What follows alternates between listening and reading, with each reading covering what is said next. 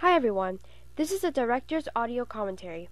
The first thing I would like to introduce to you would be my sign, and it says Wear Pink to support breast cancer research.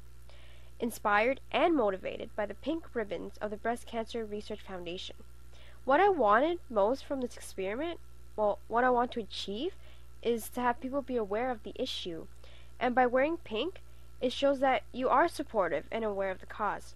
And hopefully, people will take action in real life like they did in Second Life.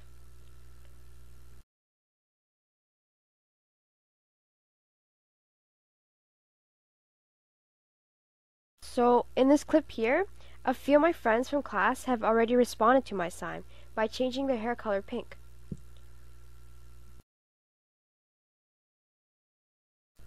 Outside of the friend zone, it got a little difficult to get good response from people I don't know.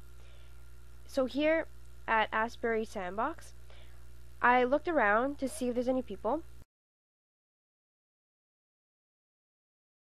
And it was only this guy and me at a time. So I went up to the guy and I tried to get his attention. I even performed the same gesture three times and he never responded.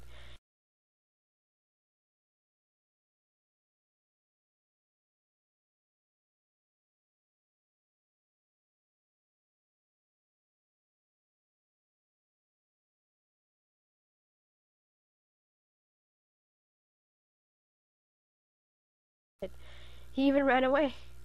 So I tried my luck elsewhere at a different sandbox.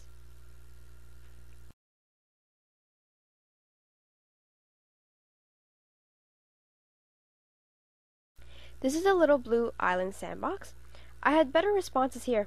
I used local chat, and a few people replied to my messages.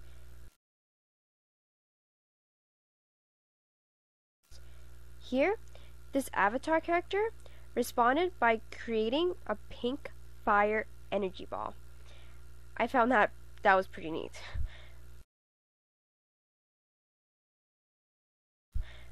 Oh, yeah, and here's another one who changed her clothing into pink. I encountered another avatar, Hawkswind, who was a great contributor to my research. The story behind this was that at the beginning, she stopped responding for a little while, so that's when I teleported to another location to try again. It wasn't long until she replied back, so I returned to Fermi Sandbox, and it turns out that she made her gloves pink.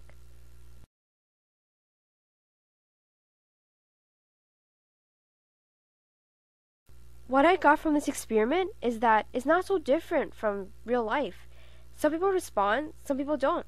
It really depends on the people and how you approach them, how you get their attention.